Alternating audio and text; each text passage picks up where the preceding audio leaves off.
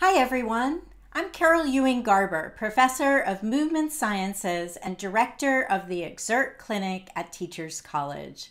I am really excited about the TC Movement Challenge, and I hope that you will join along with me to circumnavigate the earth with our starting point at Teachers College, and at all the same time, connect with members of the TC community, help TC students, and do something for your own health.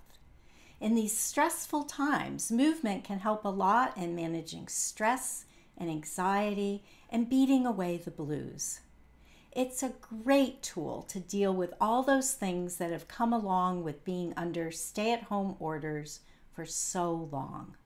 Sitting too much, fatigue, weight gain, sleeping difficulties, and being socially isolated. Now, as part of the TC community, I am asking you to join our team and commit to moving more each day.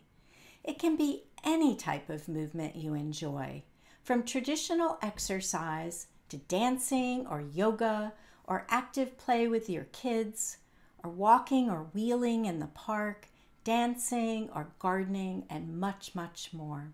It's your choice, and it'll be fun.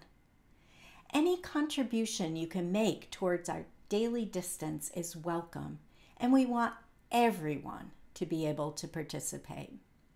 Whether you're in a wheelchair or have trouble moving about, to those who run marathons, we need you all in this effort.